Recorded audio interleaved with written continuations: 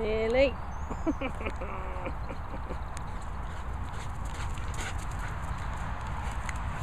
Clever boy. In the air, ready? Woohoo!